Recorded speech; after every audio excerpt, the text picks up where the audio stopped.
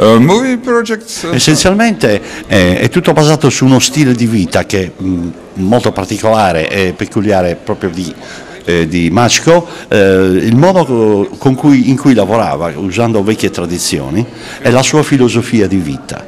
Il suo- le motivazioni per cui ha continuato e continua ancora ad oggi a fare la stessa cosa nella stessa maniera. Si è chiusa questa seconda edizione del concorso Fiorenzo Serra che ha avuto ottimi riscontri di partecipazione. Ben 60 film sono arrivati per il concorso, 37 stranieri, 23 italiani, per quattro premi, tre dedicati al grande regista documentarista Fiorenzo Serra e uno dedicato al grande intellettuale e anche esperto di cinema Antonio Simon Mossa.